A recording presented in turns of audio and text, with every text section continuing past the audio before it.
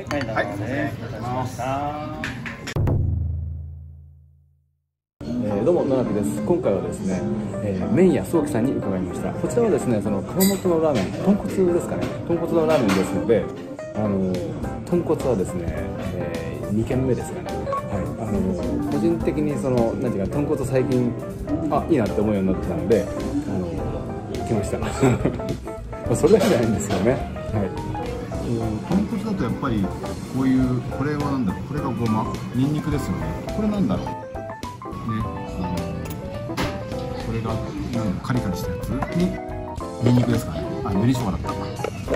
ニンニクこっちにあった。そうこれが紅生姜ですね。えー今回頼んだのはですね、えー熊本チャーシュー鍋と、えーチャーシュー飯かなを頼みました。あのご飯と麺ですね。はい。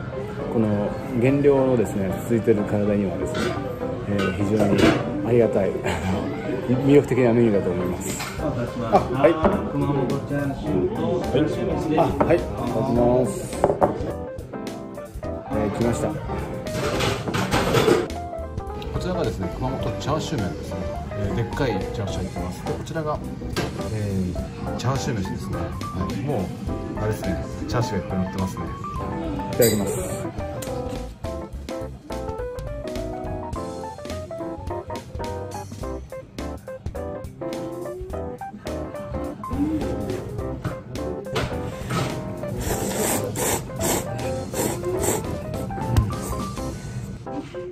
まいですね、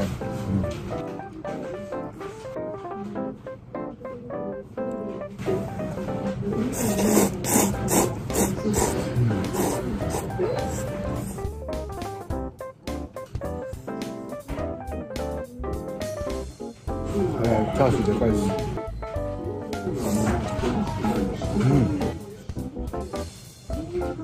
えーなんかこうですね非常にクリーミーな感じがしますね。どうなんだろう。豚骨ってクリーミーなんですかね。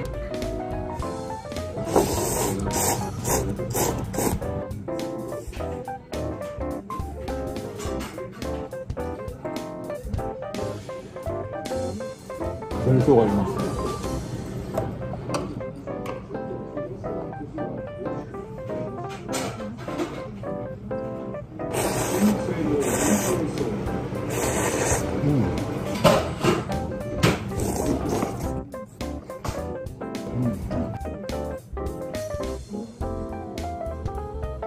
えーこっちがですねチャーシュー丼ですね。ネギがかっていてうまそうですね。うん。なんだろう非常に香ばしいですね。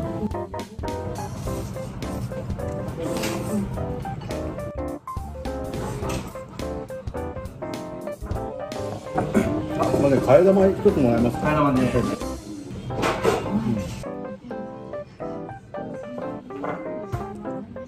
替え玉でます。丼を上にお願いします？はいはい、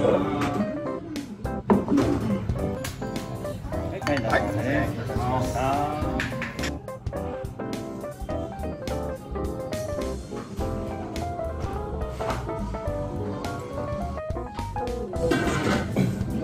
改めていただきます。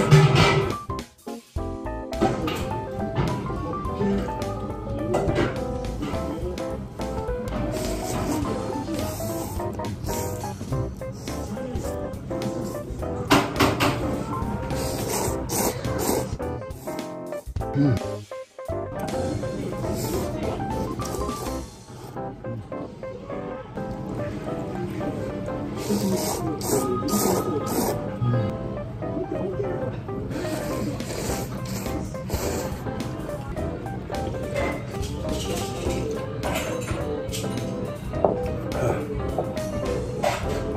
まいですね、えーごちそうさまでしたえーとですねあのほら匂いがあのなんていうか匂いが苦手な人っていうのがいると思いますけど確かにねあの匂いはね豚骨マックスかな。